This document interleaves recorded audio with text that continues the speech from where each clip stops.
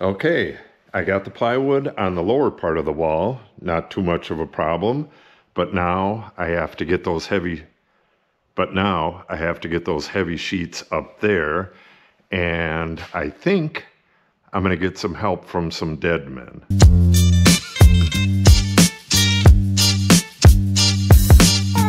If you're not familiar with dead men, it's just something that is inanimate that helps you get your job done.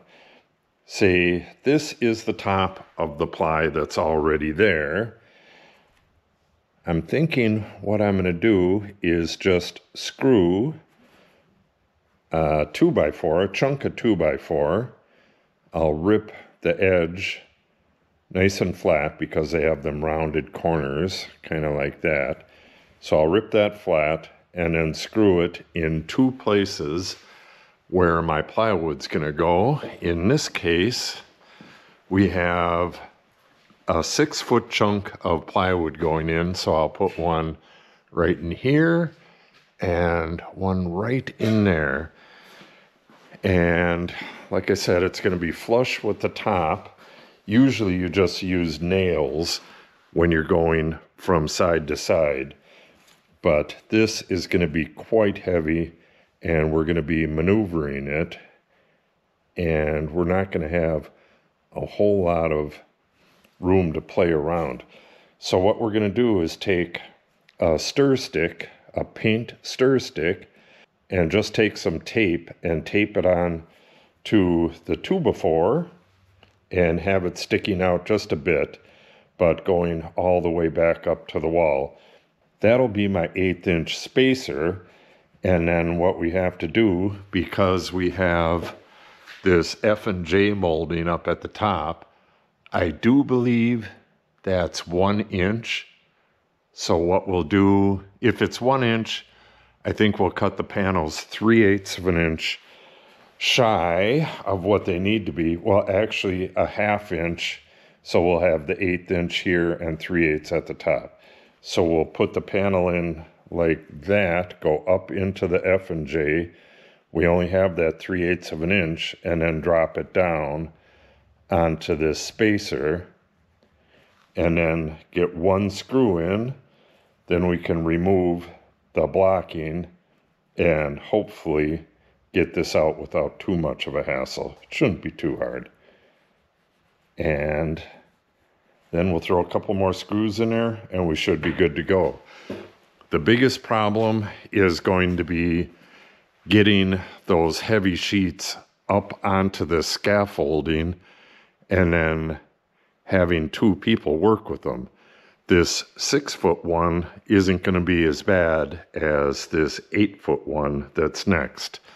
So, what I'm thinking is I can shove that up from the side here and lean it up against the wall. I'm going to screw some handles to it.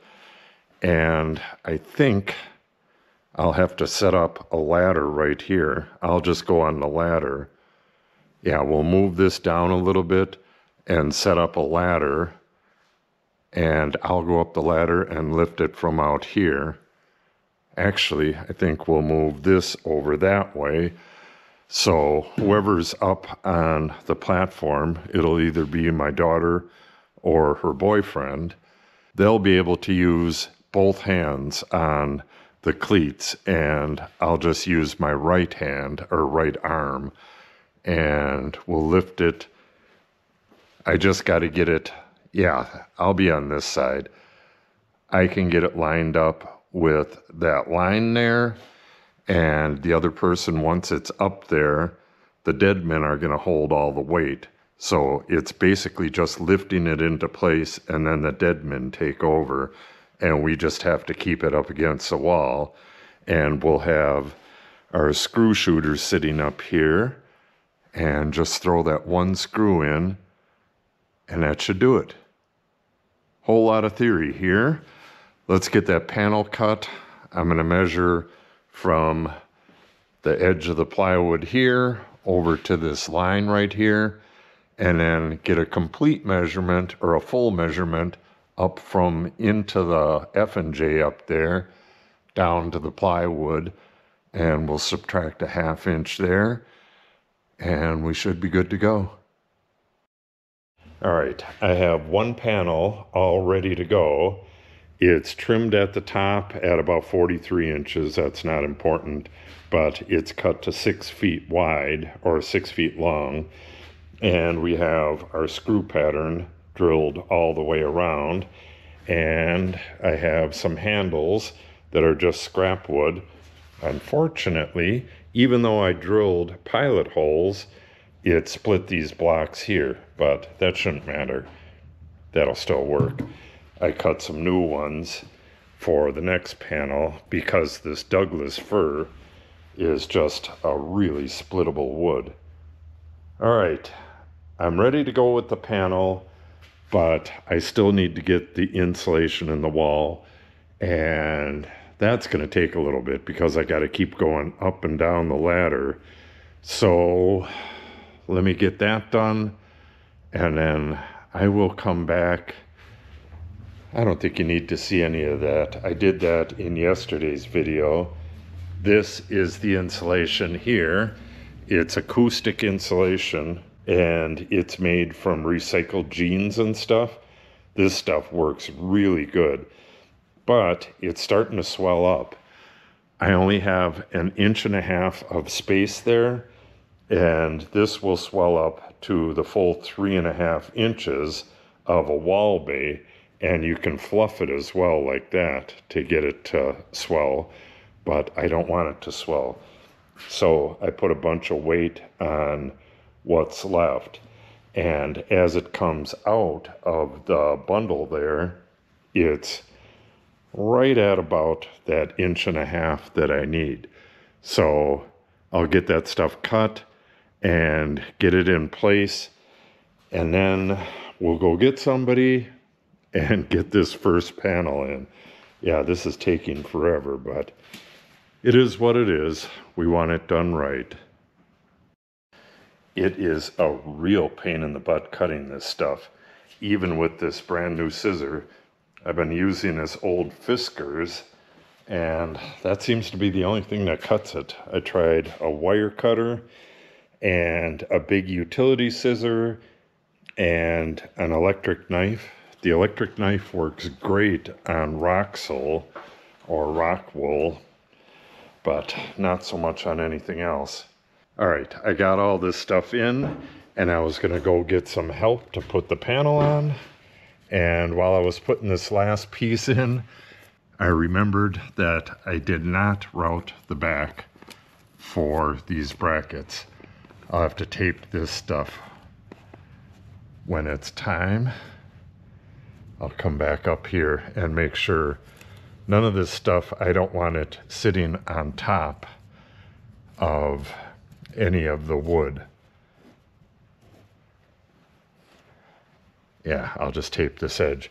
But I got a bunch of dimensions and I have to go flip that over.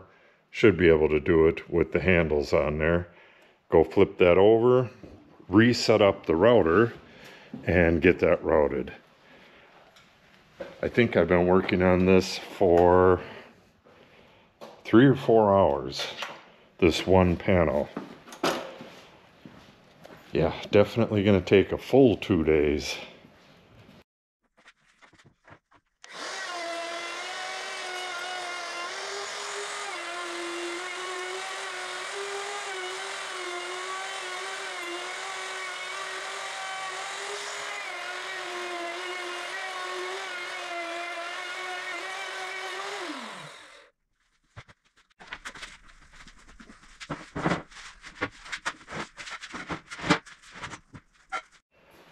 Lifted this thing up there a couple minutes ago and I had forgotten the dead men. The most important thing. Yeah, that would have been a tragedy. So, like I drew earlier, these blocks I ripped a little bit. Well, actually, this was a 2 by 6 and I ripped it in half. So we got a nice flat edge, and that is flush with the top of the plywood. And then we got a paint stick here, which is an eighth of an inch thick, and it's taped onto the top of it. and I don't have any tape on top of the ply. That's just so it doesn't get caught in there. You could see why these need relief where these tie plates are. So we got two of these in place. I got to get rid of any of the stuff that's sticking out like this tape here and a couple little bulges and stuff here and there. Then I'll put that plywood back up here again and then go get somebody to help. Yeah, this has been a really long day so far.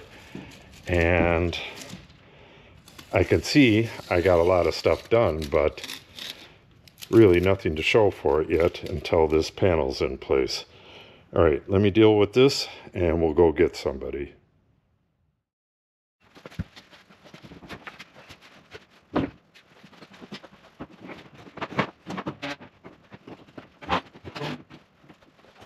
Well, we got the first panel up and the camera malfunctioned and did not record it. But we'll get this next one. Basically, my daughter's boyfriend came out, climbed up here, I climbed up here, and I told him what we needed to do to tip it at an angle and slide it up into the F and J up there and to not knock these off in the process, these dead men and then rest it on the dead men, push it up flat, and I'll throw a screw in. It literally took from the time he came out here, I gave all the instructions, and until this was on, probably a minute and a half, and he was back out of here. It took him longer to get his shoes on to come out here than to do that. I got a few screws in here. I'm going to take these off, get the rest of the screws in, and we are already real late in the day. This next one only gets one cut and then the screw holes and then it gets put up. It'll have the handles put on it as well, but I have all of the stuff made. I have these dead men made, the handles, all that stuff. So the next one's going to go a lot quicker, but that'll have to be tomorrow. So well, I'll put it on this same video. We'll get both of those in real quick and we'll film that one going in. Yeah, that went much smoother than I thought, which is a good thing. Okay, let me get the rest of the screws in that and I will see you again tomorrow when we're ready to put that next one in. Okay, I have this one trimmed to size. I have the handles on it, got all the screw holes done. Yeah, I forgot to mention that when we put this one up and in there, it's sitting on the dead men and the F and J molding at the top is holding it in. So it's not going to go anywhere. I don't even have to throw a screw in real quick. It'll just stay there. All right, we have two dead men again, and this time we have two nails to space it from here. Hopefully that panel is pretty square. Some of these are kind of squirrely, but it's not going to matter in the long run, but I'd rather have it look kind of nice.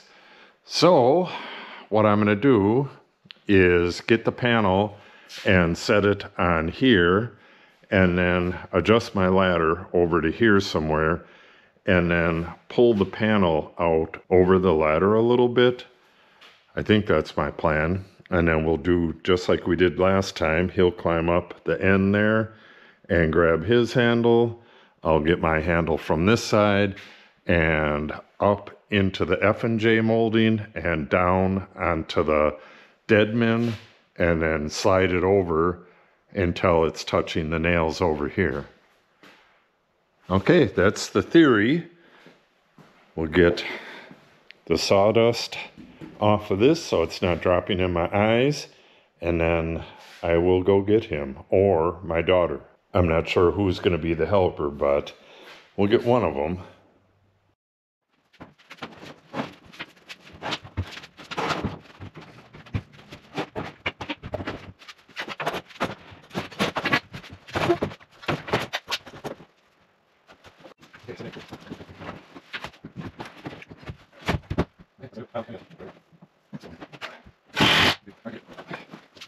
All right, everything went smooth again. Our gaps look really nice.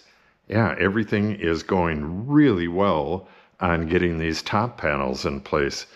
Got one more to go, but I got a lot of stuff to do on this one yet. I got a whole bunch of screws to put in. I'm going to have to move this so I can get at things easier. And then I'll have to remove all that stuff and put it on the next panel and get the size of that one figured out. That one needs to be routed on the back for those brackets. And we have a bracket plus the F and J up in the corner there. I got to take off for that as well. So it's a smaller panel, but it's going to have more machining than this one did. But shouldn't be too hard. I'll get this done today. All right, let me get all that stuff done with this panel and we'll get back when I'm working on that one. All right, last one here. I'm not going to put handles on it and I'm obviously going to do this one myself. This uh, weighs probably 20, 30 pounds, something like that. Nearly a half sheet.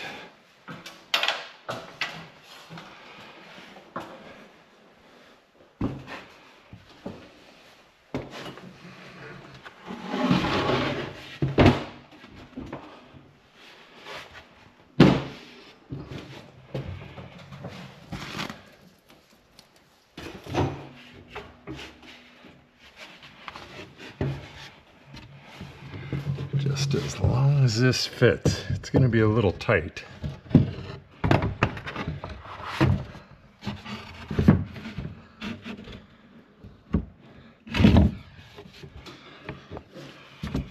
Beautiful. And we have a fairly good gap right here. This is going to get uh, a J molding onto the panel and then we're going to have steel going that way. But yeah, that looks real nice.